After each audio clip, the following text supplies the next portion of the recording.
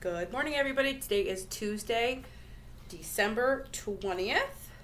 Today for lunch we have chicken patty on a wheat bun, sweet potato fries, corn, fruit, and milk. We actually have a lot of birthdays today. In sixth grade, it is Vanessa's birthday. Happy birthday to you. In fifth grade, it's Carson's birthday. Happy birthday, Carson. Also in fifth grade, it's Grayson's birthday. Happy birthday to you. And lastly, in third grade, it's Chris's birthday. So, wow, look at that. Four birthdays. Awesome. Um, just a reminder today is the kindergarten holiday show at 1 p.m. If you could please be seated no later than 12:55, that would be great. Um, for teachers, we're going to have you sit your students on both of the sides. That would be lovely.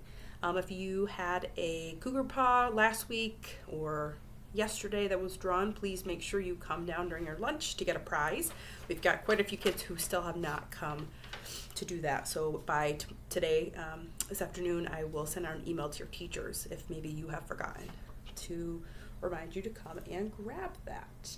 Um, another reminder is we really need to do our best job with um, making sure we're coming in every day with our boots, snow pants, jackets, you know, gloves, hats, mittens, all the things are extra too, but the glove or the sorry, boots and the jacket are necessities. You need to have those in order to go outside.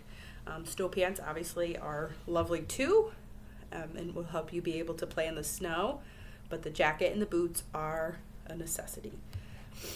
All right, let's go ahead and stand up for the pledge, please. All right, I pledge allegiance to the flag of the United States of America and to the republic for which it stands, one nation, under God, indivisible, with liberty and justice for all. All right, everybody, you know our motto work hard, play smart, North Warren Cougars. Do your part. Make it a great Tuesday.